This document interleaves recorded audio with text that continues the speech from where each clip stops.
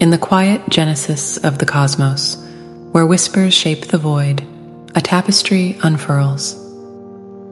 Here, we are the architects of the unseen, molding existence with a touch, a thought, a dream.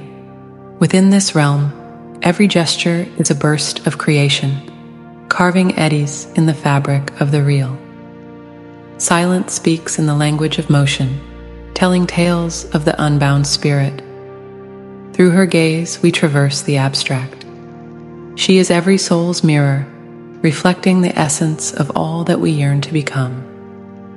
In the vortex heart, a light, not just illumination, but a beacon calling to the core of who we are, to rise, to transcend.